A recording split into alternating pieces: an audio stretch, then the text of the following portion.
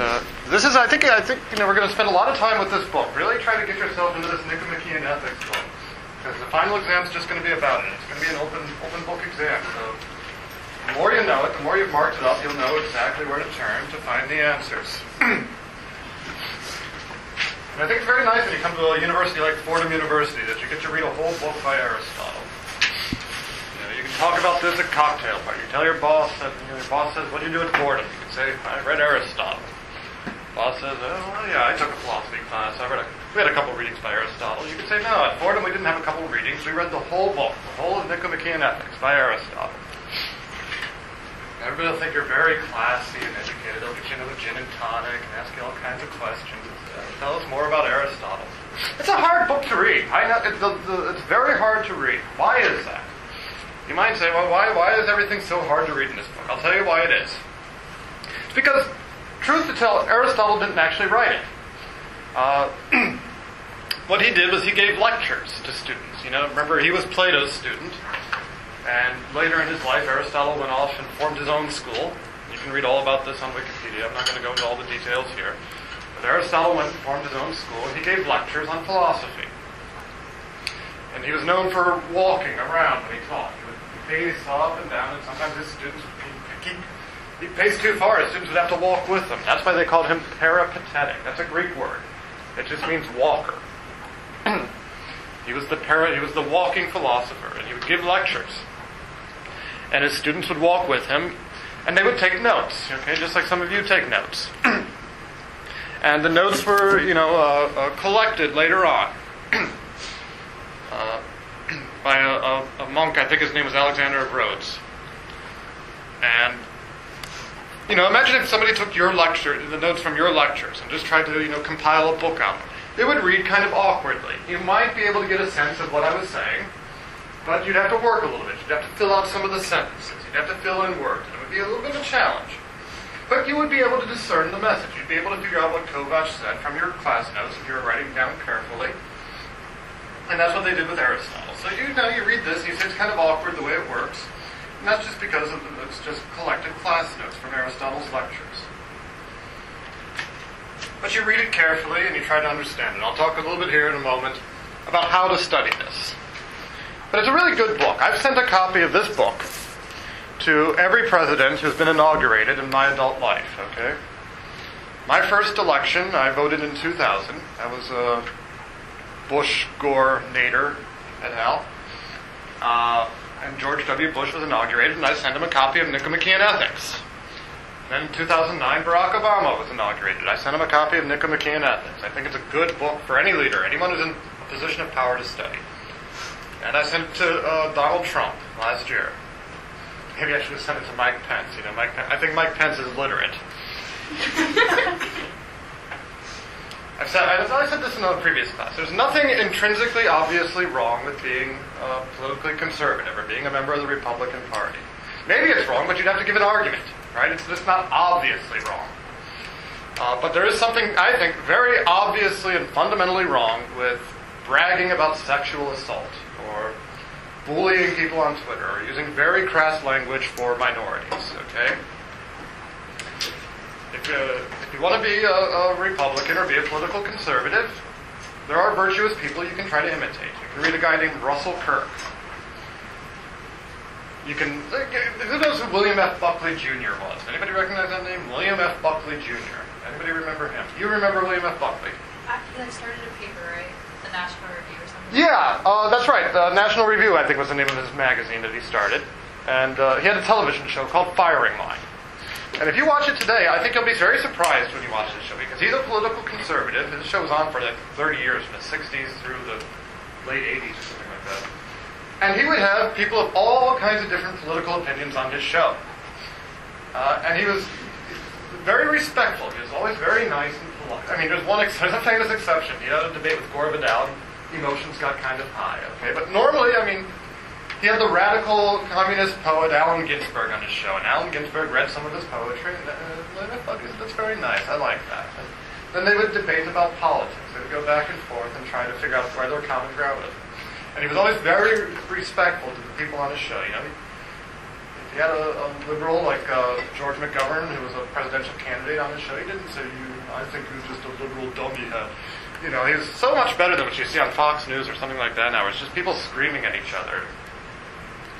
So you know, if you're if you're a, a politi- if you're politically active, look to see who the virtuous people are. Act like the virtuous people that used to be active in this arena. I think we can bring back respectful political discourse. Aristotle's going to do this in the first book of the Nicomachean Ethics. He's going to talk about all the people who disagree with him. But he's very respectful. He's saying, can I find some truth in what these people are saying? This book can change lives. I had uh, I was working down in South Carolina, and there was a young man who uh, uh, was in a motorcycle accident. And this is happening more and more frequently. You know, the doctors gave him painkillers, and eventually, you know, he was using the painkillers and it got out of control, and he wound up addicted to opioids. If you don't know about this, you should go home and you should Google opioid crisis in the United States. It's very serious. I've seen I've seen estimates that you know a thousand people a week are dying in this country from heroin overdose. In, uh, in Ohio alone, which is where I'm from, uh, it's very serious in, in poor communities mostly. But this young man was addicted to heroin. Uh, he got himself really in over his head. He was associating with some very bad characters. Uh, and he went to get help. You know, for, if you have a drug addiction, you got to talk to your doctor, right? This book alone won't help you. But we spent six months, uh, this fellow and I, working through Nicomachean Ethics together. He wanted to learn some Aristotle, and he changed his life slowly but surely. He changed his life and he developed better habits. Because this book, in a way, this book is just about addiction. This is a book about addiction. All of us have some addiction, right? Hopefully, you're not addicted to anything as powerful as heroin. But all you know, you might be addicted to gossip. You know, you might be addicted to talking about people behind their backs and getting a cheap laugh. That's a bad habit. Aristotle's going to say what good habits you can develop. If you're addicted to something, you have to find good habits to replace your addiction. I've read that pornography addiction is very serious right now. Uh, a friend of mine who runs a, a, a, seminary said it's a problem with incoming uh, candidates for, for priesthood, that they have pornography addiction. And this is very bad. If you, have you, heard about this, you know, it's a real thing. Uh, and it affects the same part of your brain as drugs. Know, if you have pornography addiction, you have to find good habits. You have to find wholesome things to watch instead of these, these images.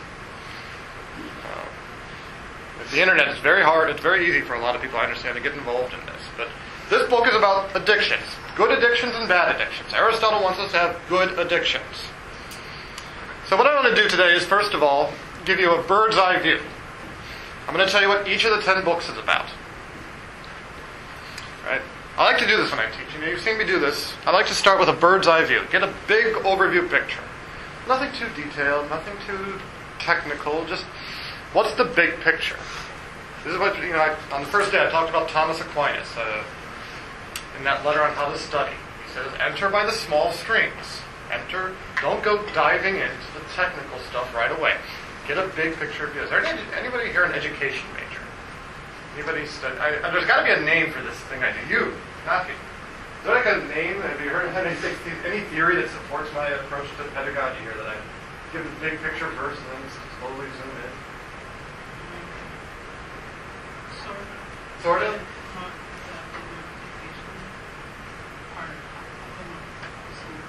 Okay. Like we teach this one course, like has to do with like government or whatever. And it's like you get all these problems and then you like narrow it down. So it's like an upside down triangle. Oh, yeah, exactly. Like an upside down triangle. You have a whole host of things that we got to think about. We're just going to slowly narrow it down. So, so this book is, you know, probably 10 lectures that Aristotle gave about ethics. And Aristotle, you know, one thing you have to know about him is he's a scientist. He's one of the first really rigorous scientists. He thought of himself primarily as a biologist. He's out there studying animals. We know that when he died, he left it to his students. He assigned some of his students before he died. Theophrastus, go finish cataloging all the kinds of insects. I read the other day that biologists now, they've, they've cataloged over 900,000 varieties of insect. Aristotle would have been blown away by that. He probably thought there were like 12 varieties of insects, you know? Anybody see that study about New York subways? That uh, they looked at germs on New York subways. Some of them they didn't even know what they were. They'd never seen this virus before. gotta, makes you think twice about riding the subway, doesn't it? Bubonic plague. They found bubonic plague on the New York subways, but not enough to actually be dangerous. Nothing you have to worry about. All these fascinating things I learned when I moved to New York. If you drink water from the tap, they put microscopic shrimp in the water here in New York. Did you know this? it's true. It actually makes it safer, though. They put these microscopic shrimp in, in water that actually the, the shrimp will eat all the dangerous stuff in the water, stuff that actually can kill you. So you should be happy to be getting. Anybody a vegetarian? You're a vegetarian. Who else is you're a vegetarian? Do you, do you have an ethical qualm about uh, drinking? Uh, now, now I'm thinking about it because my mom's vegan. your mom's vegan. Yeah. You're a vegetarian. Would- Can you drink New York water knowing that these microscopic shrimp are in there? We're going to read a guy named Peter Singer here in a couple of couple of days, but uh, Peter Singer is a very strict vegetarian, but he says it's okay to drink New York water because the shrimp can't feel anything. They're too small to have nervous systems. You look like you have a quizzical face about that. Well, we'll talk about it here when we get to Peter Singer. He's a very fascinating guy, very controversial guy. So Aristotle would have just been fascinated by all this kinds of life that we have, all kinds of life around us. And eventually he gets to thinking about human life. Right? We're just animals, according to Aristotle. We're a very interesting kind of animal, but we're, we're, we're a rational animal. No other animal can do calculus. Uh, no, other an- no other animal can say, I, I want to learn the whole universe. I want to invite the whole universe into my mind. Aristotle thinks that's what makes human beings very unique. Human beings alone are capable of saying the whole universe come into my mind. There's nothing in the universe that I am not intellectually receptive to. Everything, I mean, you know, it's just amazing how huge the universe is, you know. There's a, a black holes that we're learning about, quasars. And did you know that uh, uh, a chessboard has 64 squares and 32 pieces, and you can put those 32 pieces in so many different arrangements on a chessboard that there's more ways of putting 32 pieces on a 64 square board than there are atoms in the universe.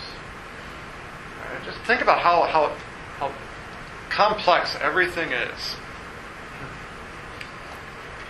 So you know, some animals, some animals seem to have you know interesting traits. They can you know under, understand a little bit of language and they can build tools. But only human beings were intellectually open to the whole universe. So Aristotle, the biologist, when he gets to studying humans, he's going to be very interested in this. And he's going to say, you know, well, this is good. How do we how do we become good at this? How can the human being really do what it does well? And that's the first book.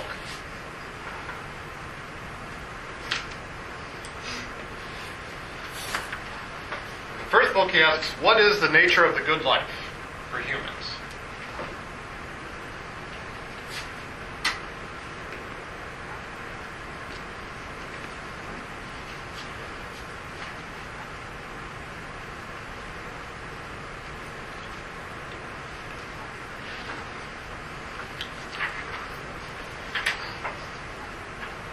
The answer is going to be uh, our, our, our happiness. I have a lot to say about that term in a moment. Happiness is defined in terms of virtue and contemplation. Okay, I'm getting kind of technical. Virtue, contemplation, happiness. Okay, I start with the bird's eye view. Let's just go back. What is the nature of the good human life? You know, the nature of a good bird life is to fly really well.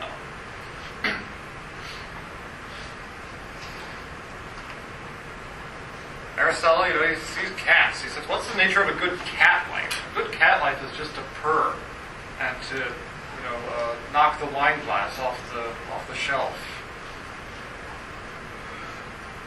What's a good cat life? A good cat life is when you're writing your final paper, it jumps up on the keyboard. That's what cats do. It's really good at this sort of thing. We have a lot of cats on campus. It's go to the gym in the morning and they're just all outside the McGinley Center. There's like half a dozen of them now. There's this one orange cat, very cute. It's getting fatter, so feeding it. But I feel really bad. You know, it's. Uh, I was in there one morning. It was like six degrees out. It was one of these really cold days. They're just meowing right outside the door there. and I, I think they're very cold. They must be cold. But they have fur coats. They don't look like they're in terrible pain, though six degrees out. But they've got to be cold. I wanted to let them in, but I I don't think anybody would be very happy if we had the cats in the McGinley Center. You're not allowed to have cats in the dorms here, are you? No? When I was at the University of Akron, there was a dorm where some girl snuck a cat. There was one cat in the dorm, and nobody ever knew who it was. So the nature of a good cat life is to meow and to purr. The nature of a good bird life is to fly. Look at those birds out there. They're just sitting there on the tree. They're going to fly in a moment. They're, very good birds, right? A very bad bird is one that can't fly. Well, what's a good human life? A good human life is a life of virtue and contemplation directed towards uh, word as you diamond the owl. I have a lot to say about that in a moment. Don't get freaked out yet. Book two.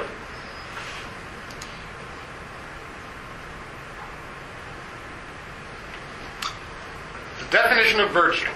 Okay, so if a good human life is a virtuous life, we have to get a definition of virtue.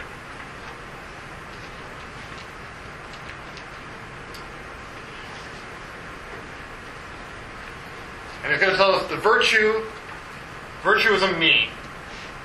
Virtue as a mean.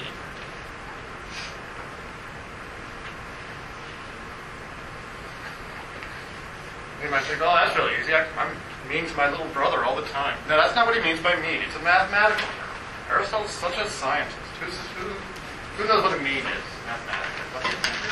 It's an average, right? It's something in the middle.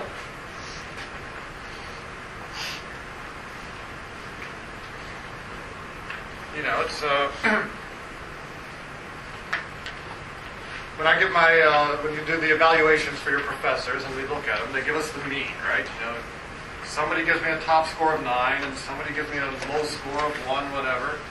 Well, okay. Uh, so somebody thought I was just great. Somebody thought I was just the most awful thing ever. But what's the mean? Okay, so you know the mean is maybe seven. Okay, right in the middle. Book three. Book three is going to be a lot of fun, but it's going to come in two parts. The first part, the first five chapters, it's just about the nature of choice. Okay, we've got to make some choices if we're going to develop virtues. Right? Do I drink water with microscopic shrimp in it? Or do I really commit myself to strict veganism?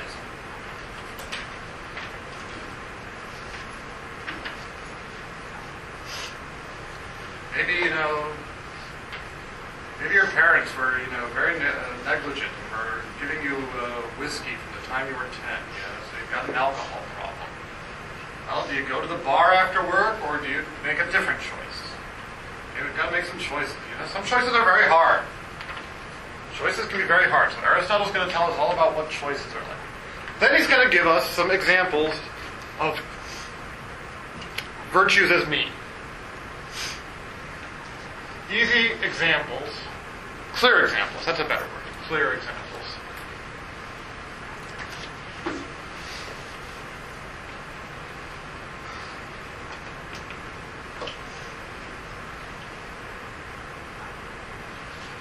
Okay, the two examples he's going to give us will be courage and temperance.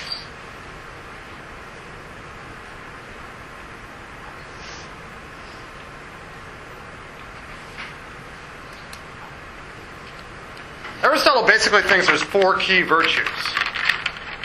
I'll just give them to you now. I'll probably put them on a quiz at some point. Four major virtues.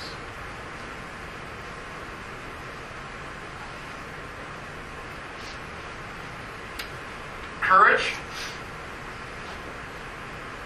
And you read about this guy. Right here in the Bronx, you probably read about it. And there was that fire over near Arthur Avenue.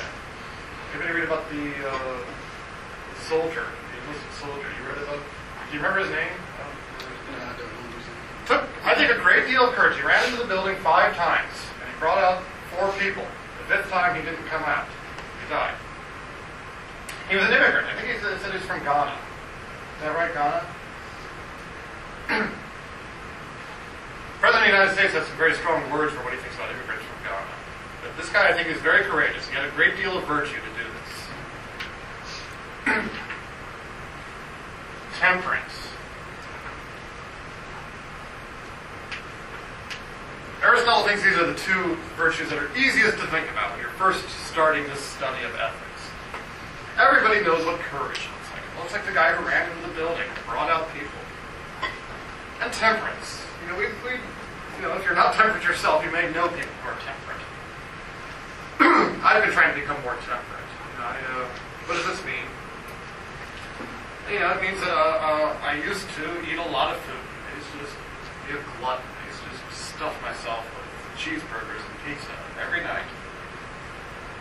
I never got any exercise. But uh, I also know people who eat almost nothing. They eat, you know, just a, little bit of vegetables every day, and uh, they, they run marathons every two weeks. I have friends like. Neither uh, is an example of temperance. Temperance is taking the right amount at the right time and of the right kind of food, uh, of drink, television,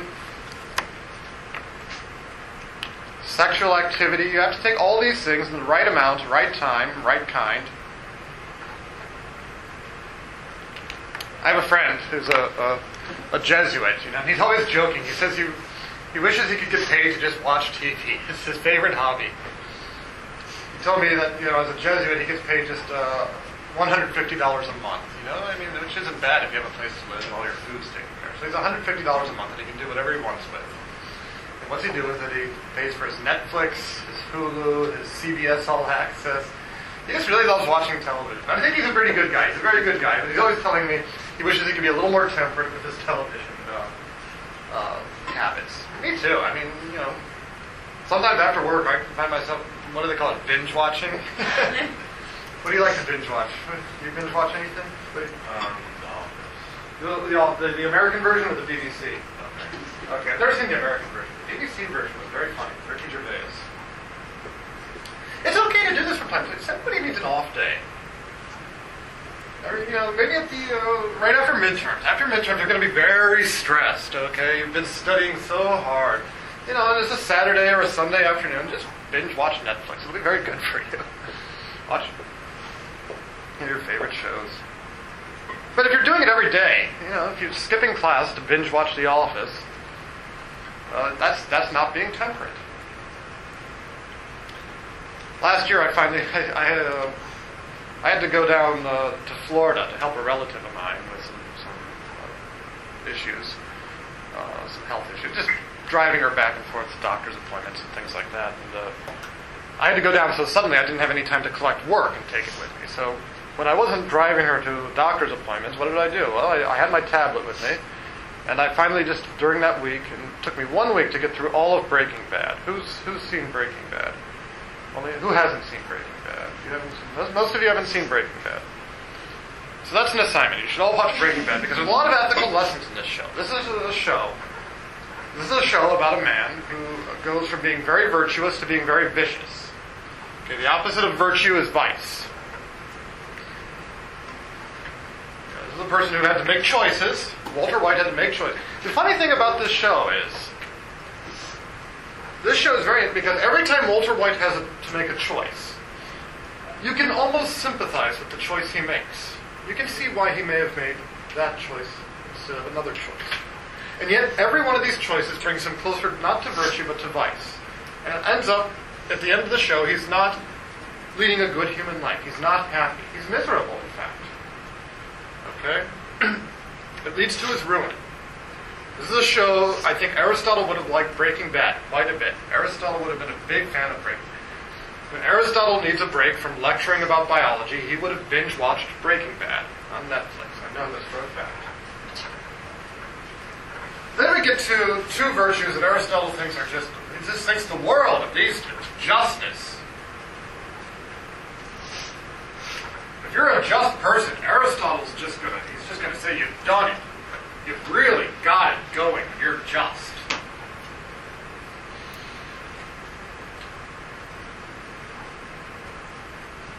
And you know, I'm having having dinner with a friend of mine. We were at a Denny's.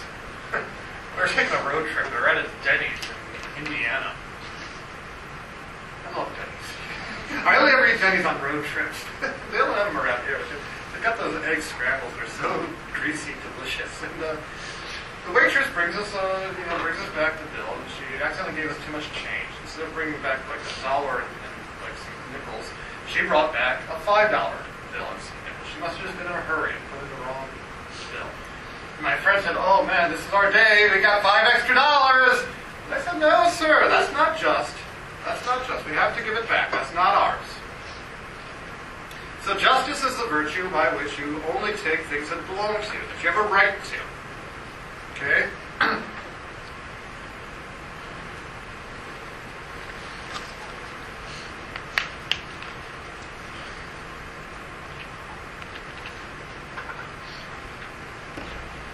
You know, you could win every every uh, football game if you just break into the opposite team room and put laxatives in their Gatorade, right? They're going to lose. But that's not a just way of winning, right? That's not a that's not a victory earned. And the last one is uh, a virtue that's usually called prudence. It might be thought of as common sense, good sense. We'll call it good sense.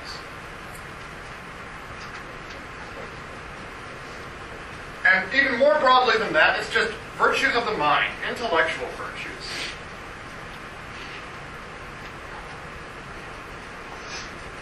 Virtues of the mind.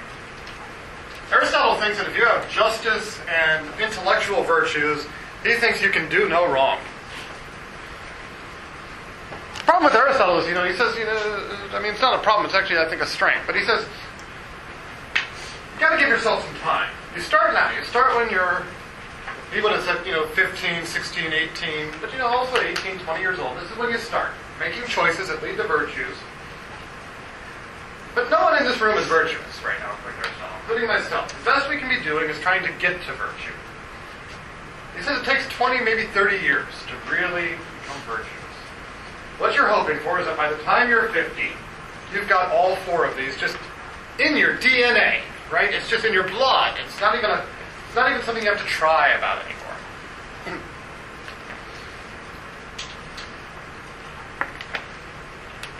Aristotle thought, you know, look, if you're 50 years old, if you're 50, 55 years old, and uh, you're still, you know, struggling with, you know, making choices, you know, he says, well, you should have gotten to start earlier. You should have started earlier. So at the end of book three, he's going to start start us, get us started on thinking about these four big virtues: courage and temperance.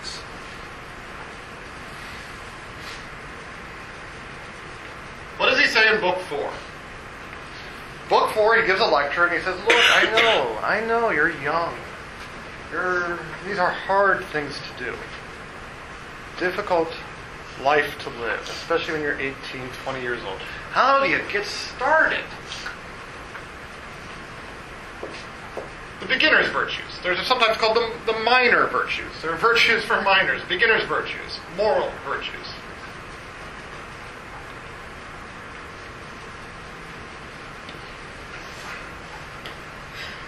This about? He's going to say, well, are you generous? You know? I always try to keep an extra dollar on me or some change, you know, just a handful of change in my pocket. Because here in New York, you're not going to walk very far without somebody asking you for a bit of change. Well, you can do that. You know, you probably have a change jar at home. You know, just take a few, take a little bit out every morning. And when you see people who need something, you can help them out. It's just an easy virtue. he said, "Can you throw a good party? Can you throw, this is a good beginner's virtue to throw a good, not an over-the-top party, not you know a gaudy party. You know, don't, don't turn your house into the Playboy Mansion." But also don't be, don't be, you know, don't throw lousy parties.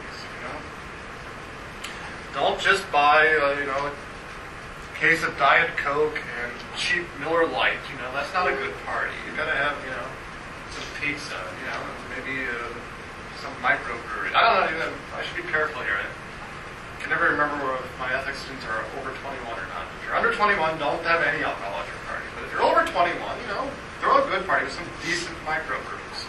Don't get wasted. You know, just have, make sure everyone has a nice time. These are the beginner's virtues for Aristotle. We'll talk about a lot of them when we get there. You're going to like that book, I think. Book 5, right in the middle of the Nicomachean Ethics. Yeah, I think he may have been giving these lectures primarily for the benefit of his son. You know why we think this? Because we know what his son's name was. You noticed? Nicomachus. He may have been giving uh, lectures to Nicomachus and his friends when they were about 18 or 20 years old. So right in the middle of these lectures, he's going to go off on a big one. The big one, justice. Aristotle just loves justice. He loves it. What is this? You know, oh, who was his teacher? Plato. Plato's teacher was Socrates. Socrates was always going around Athens asking, what is just? What is justice? Is this just? Is it just for you to exploit labor?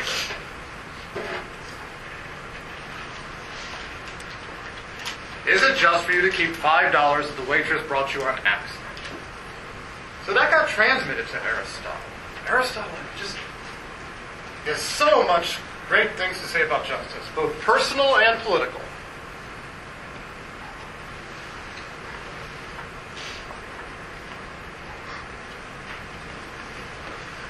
I think we're going to spend a couple of days on book five. because he wants to know, you know, there's personal justice. Do you cheat on your spouse? This is a question of justice, right? Your spouse has a right to have you as an exclusive partner and lover.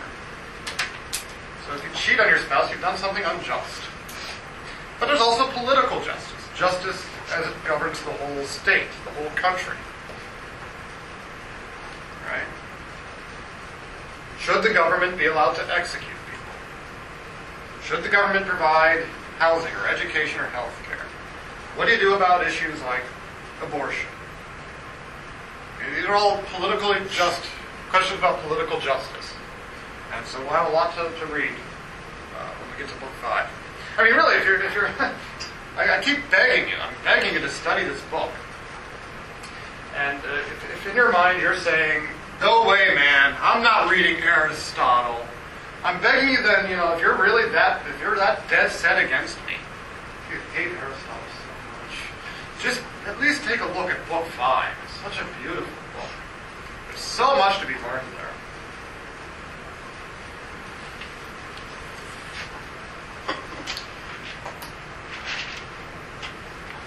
Well, if justice is the uh, the first of the uh, big ones, right? The ones that he wants you to love, the ones that he's, you know, maybe he gave all these lectures to Nicomachus and his friends because he just wanted Nicomachus to become a just person. But of course, he also thinks, you know, he's a biologist. He likes smart people, so he wants he wants his son and his friends to also have the intellectual virtues.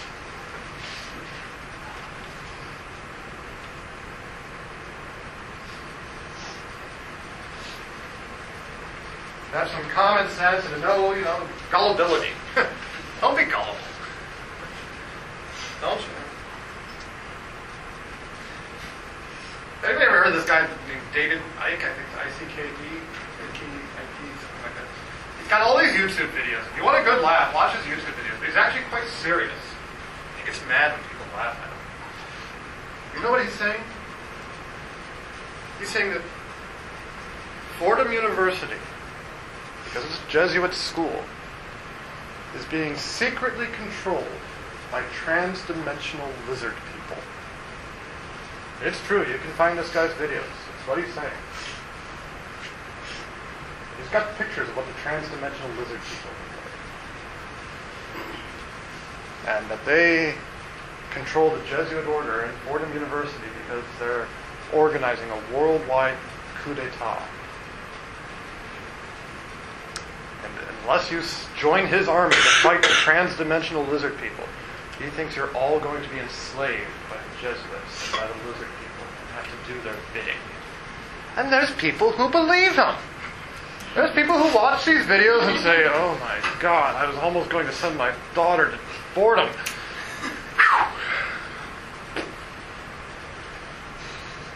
I'm still waiting for my check from the lizard people. Trust me, if this were true, I'd have a much nicer apartment. Don't be gullible, right? Develop some virtues to know what to believe and not believe. If you think this is, I mean, you can maybe you're, maybe you're not even skeptical of what I'm saying. You know, well, no, go check it out. It's really out there. What's the opposite vice? You know, if you're gullible, you might just be too skeptical. You never believe anything at all. You, you turn on the news, and the news says, you know, an immigrant from Ghana ran into a building and saved five people, and the first thing you say is fake news. Everything is fake news, right? Nothing is, nothing anyone is saying is true. Every single news report about anything whatsoever is false. Maybe you're a skeptic. Then, you know, we're going to talk. We're going to talk in a few weeks about how to develop virtues of discernment. Jesuits are Jesuits are really big on intellectual virtues. They, they call it Saint Ignatius writes about discernment. The virtue of discernment, knowing how to make good common sense choices.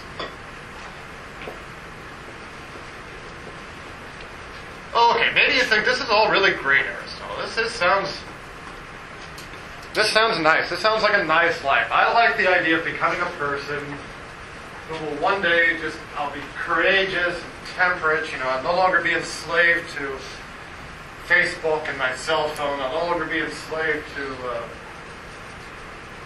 my passions. I'll, I'll be just to everyone. I'll treat everyone the way I'm supposed to. I'll be able to make all these good decisions, and I'll be I'll be intellectually fulfilled. That sounds just great, Aristotle. But come on, it's hard, isn't it?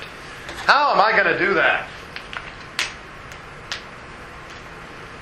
I've already got enough on my plate. You know, I'm trying to trying to keep my job and raise a family. and you know, I've already got these bad vices. You know, I mean, maybe when you were young, you know, your friend showed you pornography, and you've got pornography addiction, or you've got opioid addiction. You know, all these things that are just weighing us down every day. And you know, you work long hours, and you have to go home, and maybe it's hard to work on cultivating these virtues. You, know, you just want to, you just want to relax and watch Hulu, watch, you know, whatever. When am I going to find time for this? So, Aristotle says, I understand this is difficult. Let me give you some practical advice on overcoming vices.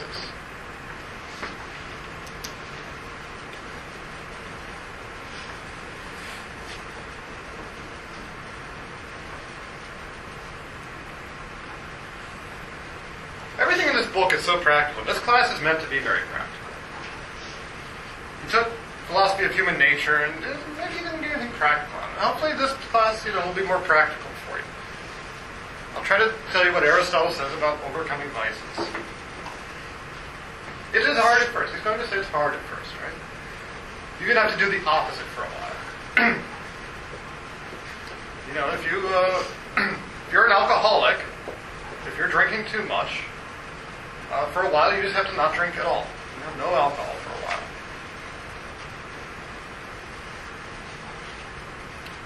If you're inclined to sleep too much, you know, sometimes you have to cut back. If you say, okay, I'm going to get up extra early for a while, do something in the moment, get up extra early so I can exercise, something like that.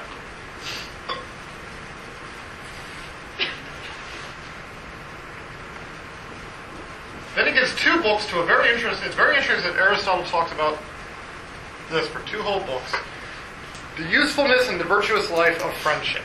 Advice about friendship.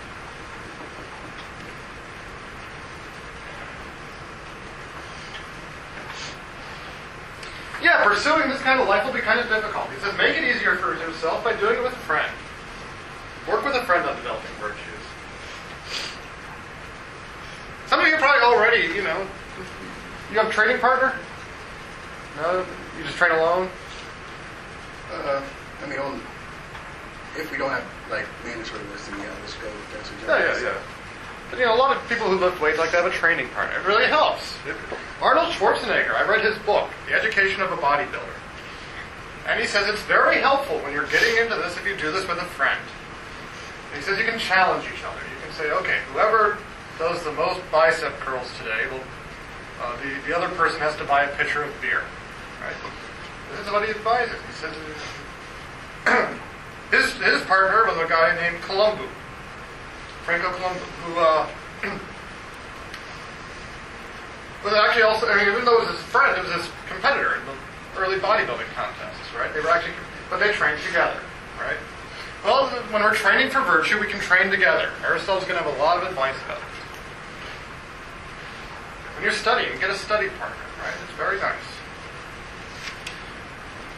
It's got two old books about friendship, and then finally, book ten. This is a very mysterious. Some people don't read book ten. We're going to read book ten because he starts. He kind of gets a little scattered. He starts by talking about the role of education and laws.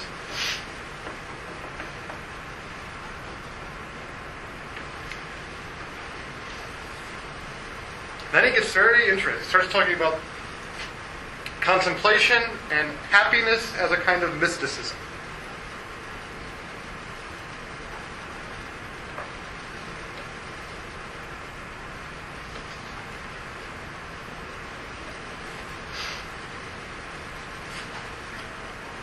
Thomas Aquinas loved Book 10, the Nicomachean Ethics.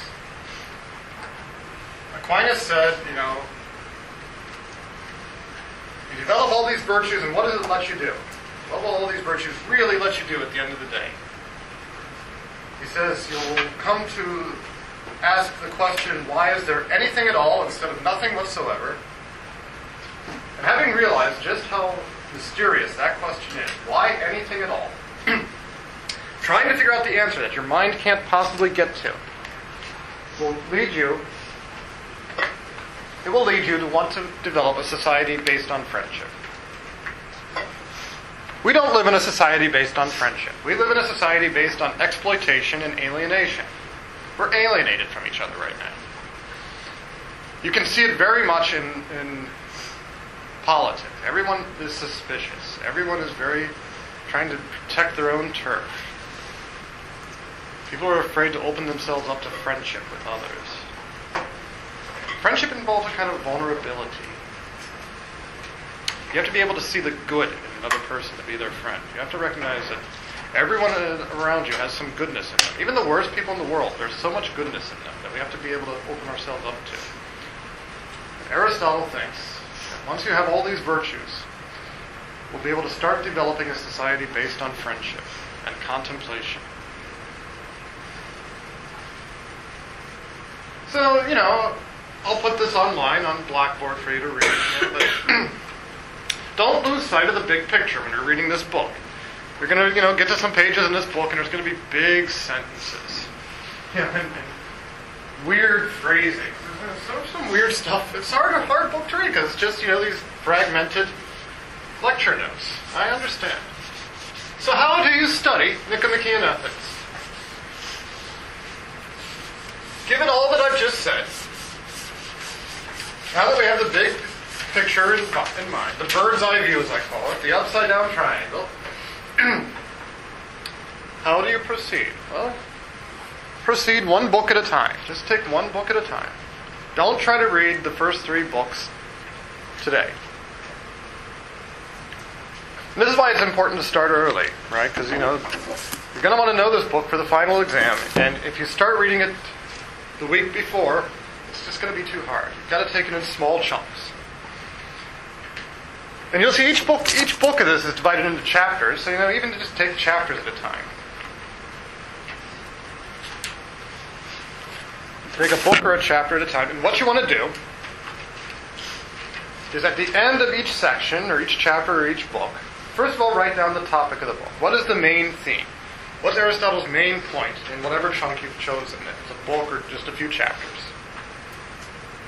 Then the goal for each book is to write down five to ten key points. Five to ten key points from each book. Underline the sentences or highlight the sentences that illustrate that key point.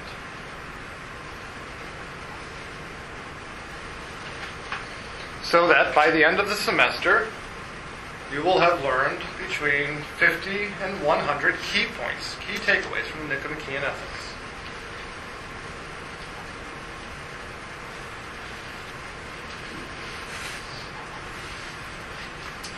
So, book one, what's the theme? What's the topic of book one? What's the what's the big point of book one? It has to do with I'm gonna give you a Greek word. I have to do this. I have to give you a Greek word.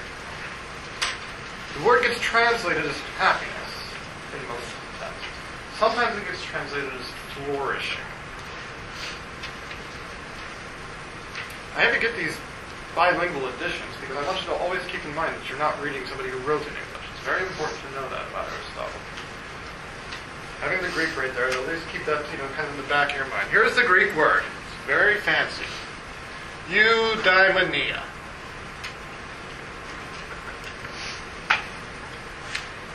Eudaimonia. How's it get translated? Some people translate it as happiness. Some people argue it's better translated as flourishing. Problem with translating as happiness is happiness. You know, happiness is like you know, happiness is a warm gun, as the Beatles said. You know, it's just everywhere. it's too common. It's too. It's too fickle. Yesterday I was happy. You know, yesterday I was happy. I was you know at Denny's, and I was just so happy to be at Denny's. Today, you know, I come back here and it's cold. I'm not so happy anymore. That's not what Aristotle means. He's not talking about that kind of fleeting happiness. You know, you're so happy to go to Geauga Lake. Geauga Lake's an amusement park in Ohio. You've been there. He's talking about something very permanent and something that comes really at the end of your life. At the end of your life, have you achieved eudaimonia? When you're on your deathbed, can you look back on your whole life and say, that was a good one? I flourished. I did it well. So, Book 1, Aristotle says that the aim of life is eudaimonia.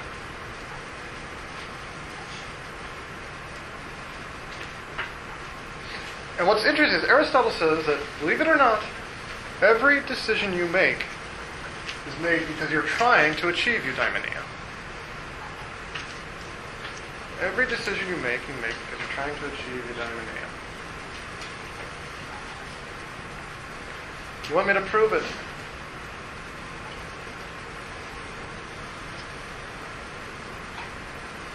Uh, you with the Fordship here. Tell me about a decision you made. Any decision whatsoever. Um, decision to come to classes today. You made the decision to come to class today. Why on earth did you do that? Because you want to get a good grade and grad. What? What? What for? You want to be happy? okay. Kind of jumped the gun there, but you want to get good grades and graduate. But you, graduating, that's not really worth anything. You graduate, so what? Well, you know, of course, you want to get a job, probably. You know, you, know, you want to go, you want to go run a nonprofit or get a job or whatever. Why? Because well, maybe someday you're thinking you're going to have a family and you want to be able to support them and have a nice life for them, or at least for yourself. Because you're realizing that if you don't do these things, you know, someday you're going to die and you're going to look back and there's nothing there.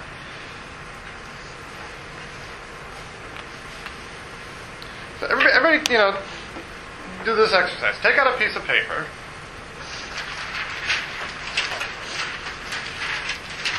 And I want you to if, you know, you, you found out you won a sweepstakes. You won $10 million in a sweepstakes. What would you do with the $10 million? Just write down be specific. What you would do with your $10 million. All the things you would do. As many things as you can think of.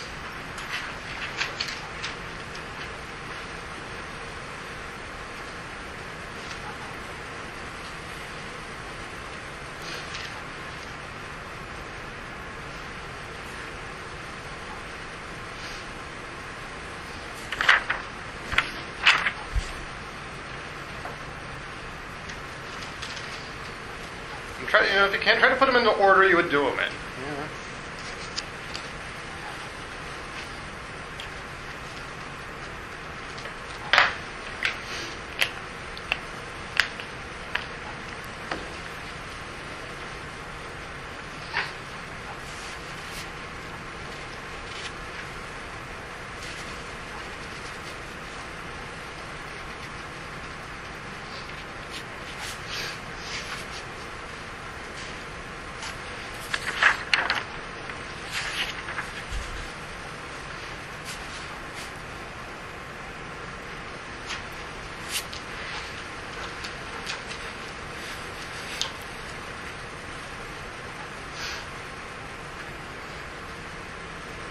Wants, wants, to, wants to share their list? Somebody tell me what they wrote down. Somebody, you, you haven't finished yet. Just give us a give us a start on what you.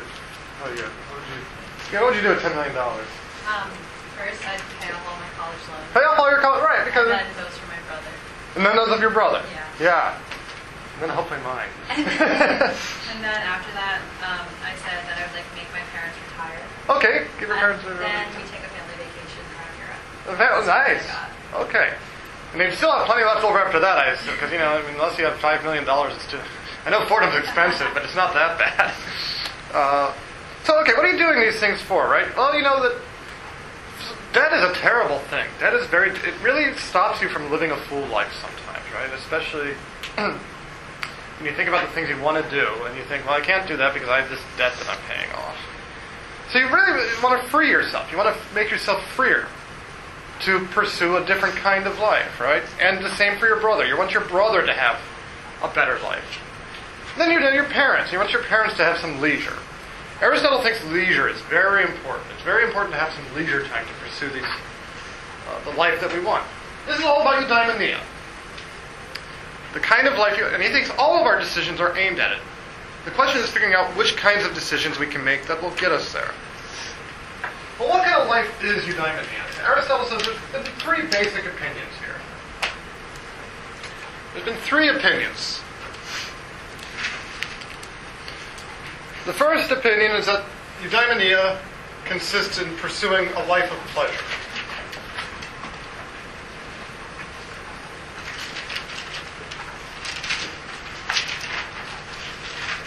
Maybe you think that a good life is just a life where you sleep with whoever you want and drink and eat whatever you want and, and so, you know, have the best grade marijuana. Maybe that's what you think a life pleasure is. Aristotle says, "Eh, you know, you know who has that kind of life? Bears, monkeys, dogs. Aristotle says, look, you're not a bear or a monkey or a dog. That can't possibly be the good human life. What's good for the bear, the monkey, and the dog can't possibly be what the human being wants.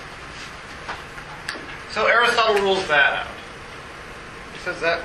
Next week we're going to read J.S. Mill. J.S. Mill disagrees with Aristotle. J.S. Mill says, look, the life of pleasure really is what we're going to be pursuing.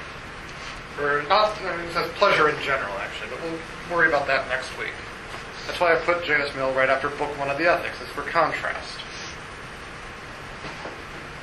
What's the second opinion? How about the life of honor?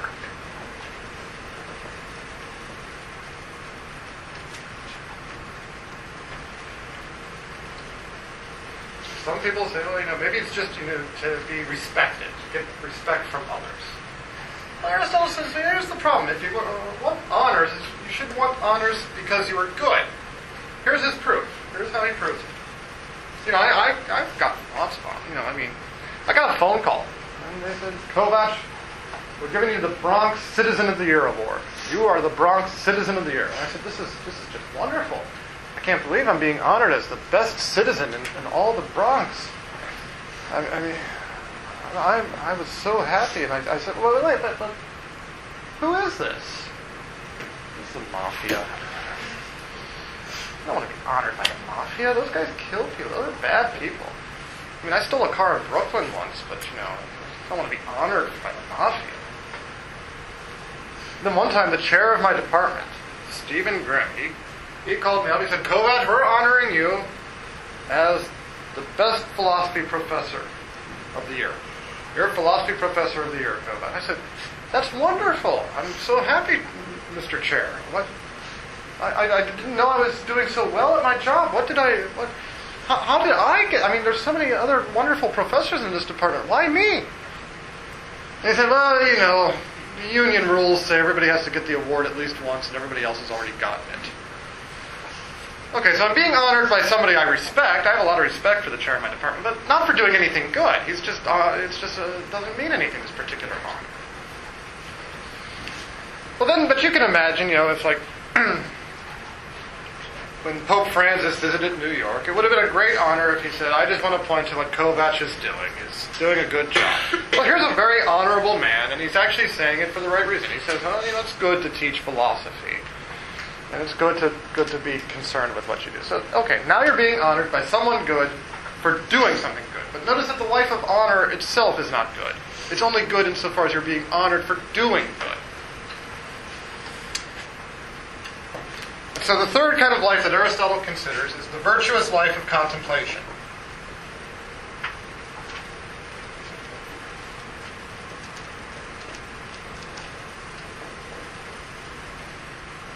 Let's pursue the virtuous life of contemplation.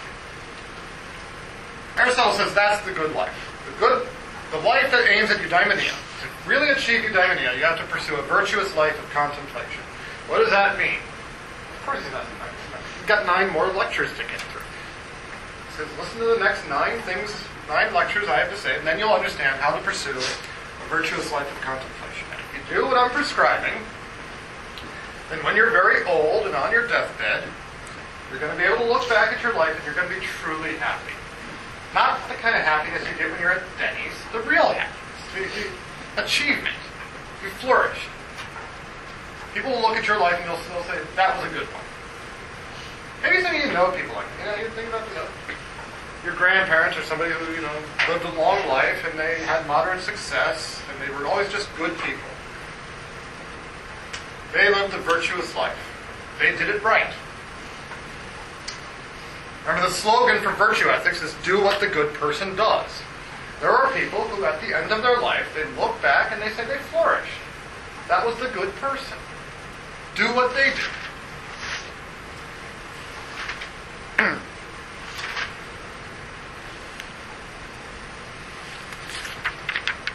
Here's another argument that Aristotle gives to prove this. This is called the function argument.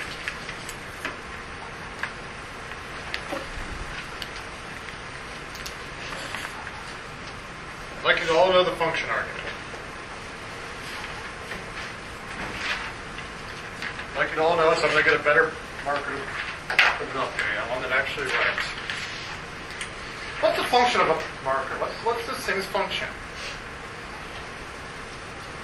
To write. It's to write well, right? That one wasn't writing so well. It's kind of faint. A good marker, a good marker, is capable of excellent performance of what it's supposed to do.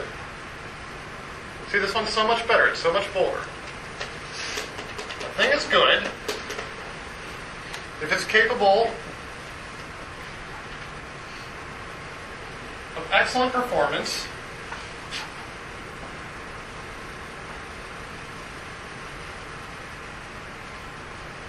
of what it's supposed to do,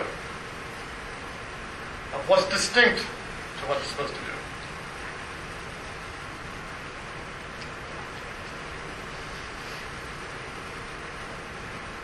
Okay, a bad marker is one that doesn't write well. Bad bird is one that, one that can't fly. Okay, the second premise in this argument is if a thing is capable of uh, excellent performance,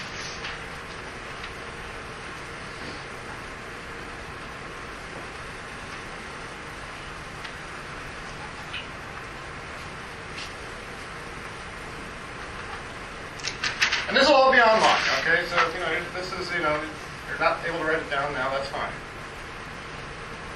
I think it's capable of excellent performance. It's able to perform with relevant virtues.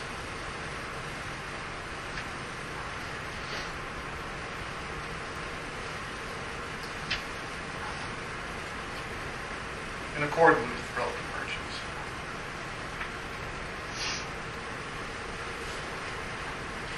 Okay, so you know, this thing writes some relevant virtues. A little bit of a strange use of the word virtue, but what it means for Aristotle is it means it has enough ink in it. Okay? And it means it's long enough to be held by the hand. You know, imagine if the marker was just, you know, the size of the cap. I wouldn't be able to write very well because I wouldn't be able to get a grasp on it. It means it's not dried out. You know, whoever's using this classroom before me doesn't put caps back on pens, and they're all dried out, and they can never write well. He's taking away the virtue of the pen. So from these two things, from these two uh, premises, we can determine if a thing is good.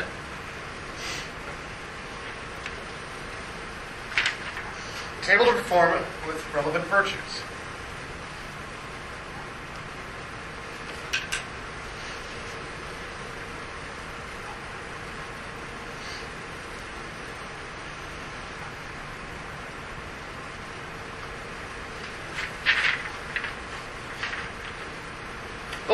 distinctive about human beings? Okay, what's distinctive of pen is that we can write. What's distinct about human beings is our rationality.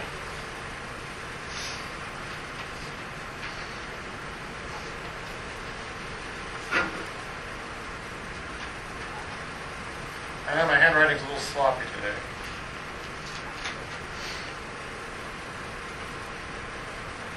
Now Just think about it for a minute, okay? Even if you can't, if you're having trouble with the handwriting, it'll be online. But what's distinctive about us is what I said at the very beginning of the class. Human beings are able to open ourselves intellectually to the entire universe, okay? This, the infinite vastness of the universe, including why it exists at all. Only human beings can do this. Black holes and quasars and birds and bats and societies and math and calculus and Latin and Greek.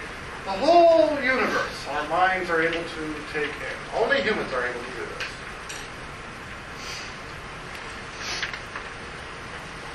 So, if a human being is good, we perform with our relevant virtues, just like a pen is good if it has the ability to do what it does.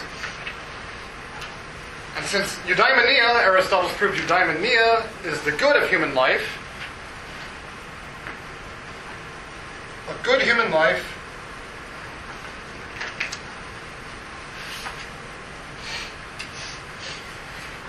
one performed with human virtues.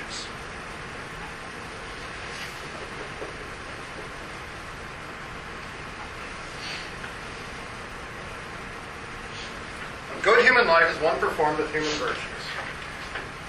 Okay.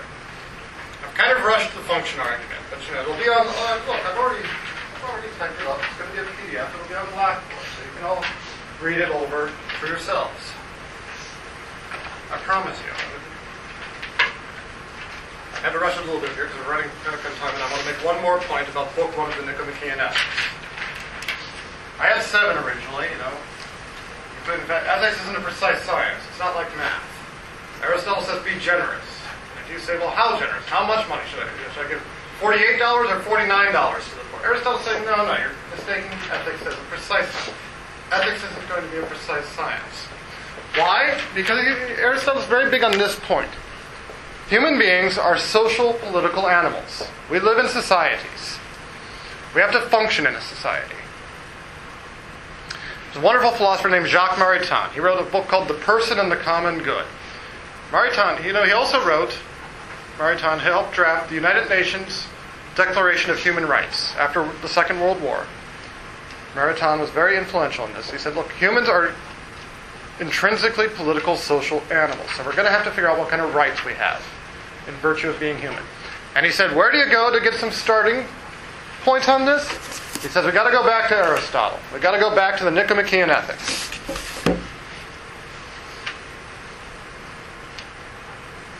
So this is, there's, you know, I, I listed out seven points to take away from book one. You know, if you're having trouble reading this book, go online and look at these notes. Make sure you understand the function argument. It's typed out online. I'll probably ask about it on a quiz at some point. Are there any questions about book one? Any questions about where we're going with this? Who's presenting on Tuesday?